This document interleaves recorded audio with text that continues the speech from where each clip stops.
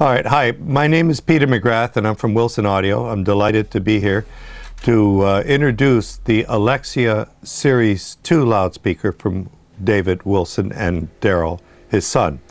The Alexia Series 2 was introduced around March of 2017. The original Series 1 was introduced approximately five years ago as well. And um, the, they look very similar, particularly when you have them side by side, but there are some fundamental differences in the overall shape and design. Um, looks can be deceiving because the quality of the sound between them is, is, is, pretty significant. The Alexia 1 was a groundbreaking design when it first came out. It was a design that was uh, totally attributable to Daryl Wilson, Dave Wilson's son. It was one of his very first and significant efforts on behalf of Wilson Audio. So we're very, very proud of that. It has done extremely well. But while the Alexia 1 had continued very well in sales, we as a company continued to grow. And much of the growth that, and, and technology development came from Dave Wilson's involvement with the WAMM Chronosonic speaker, which is our flagship speaker. It's a system that sells for uh, just a little under $700,000. It's an absurdly beautiful, absurdly wonderful system. But there's a lot of technology that, that Daryl, his son, picked up in the development of that loudspeaker and has found ways to incorporate various aspects of that. First of all, the tweeter that's in this loudspeaker looks, for all intents and purposes, similar to the one that's in this one, but in fact, this tweeter is a tweeter derivative of the tweeter that's actually inside of the master chronosonic. Um, the back wave, the way we handle it, the back pressure wave is identical to what we're doing in that uh, large scale loudspeaker. It's a significantly better sounding tweeter than the best we were able to provide to this loudspeaker at the time we designed it. So that alone is a big starting point. Number two, the mid-range driver, as you can see, is identical uh, in size and shape to both speakers, but the enclosure that houses this driver has approximately 17% higher internal volume. And also, we've been able to develop a much more significant way of handling the backwave pressure of that tweeter, a mid-range driver, excuse me. And the result is is a faster, more transparent, more detailed sound coming out of the mid-range component. Mid-range being a pretty significant part of the overall speaker's uh, sonic signature and characteristic.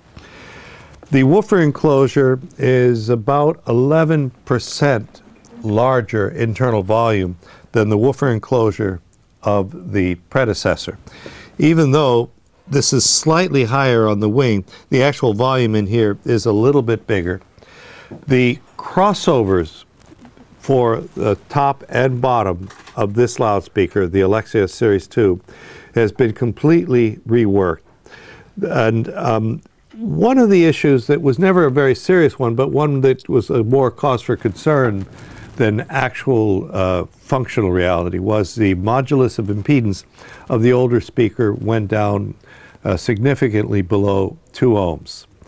The modulus of impedance on the newer loudspeaker barely goes below 3 ohms, which means that it represents a more benign load to any amplifier. It widens the scope of possibilities of choices for amplification.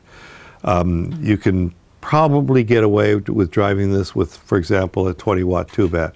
Not what I would necessarily recommend, but probably would have been verboten with this loudspeaker. So the possibilities open up a bit. It's an easier load to drive, allowing the potential user to enjoy a wider, wider range of options. Um, the low frequency extension on this loudspeaker is slightly better than it was on this loudspeaker. The overall sensitivity between the two speakers is roughly within a dB, so that hasn't changed in any significant way. What has changed is the aggregate of the components add up to a fairly substantial increase, transparency and resolution. Um, something you can't see from where the camera is, but back here we have a plate which is totally different from the other one where all of the resonant modes of the top module come to one point That plate is made out of a material that was developed for the WAMM loudspeaker. It's extremely difficult to work with, extremely costly to obtain. And we're using it at the most critical junction where all of the resonant modes of the head come together before they are vented and transmitted down through the base module. That does not exist in the uh, Alexia Series 1 because we didn't have the technology to do that then. So uh, there are various and sundry other features, some of them cosmetic and some of them mechanical. Um, but as I said before, it's bringing all the little elements together. Oh, we've improved the spikes on the uh, Alexia Series 2. They're quite a bit more substantial. They're taken from the WAMM as well. They're very large and very, very stiff and uh, uh, extremely sturdy. Um, there's one big change that I almost forgot to talk about, and that is one of the principal design elements of the Alexia loudspeaker is the ability to adjust it in the time domain, meaning that you can move these two drivers independently of each other. This moves forwards and backwards, and the angle can change. That is determined by the listening distance from the speaker and the height of the ear off the ground relative to the plane that the speakers are sitting on. Well, again, from the Master Chronosonic coming down, what uh, has been developed in that speaker is the ability to adjust in the time domain to get that speaker optimized practically down to six nanoseconds exactly. Taking from that those small, tiny incremental movements that we can, the original settings on the head assembly here would allow you to move the head in um, about 16th or, uh, or more of an inch step. We've now taken the gradations here where it's much more granular and therefore you can obtain a much tighter control of the position of this critical component relative to this. And uh, it's about three times higher level of granular resolution over what it was on, on the speaker. That is a direct descendant of what we learned, how important that is in, in the bigger brother.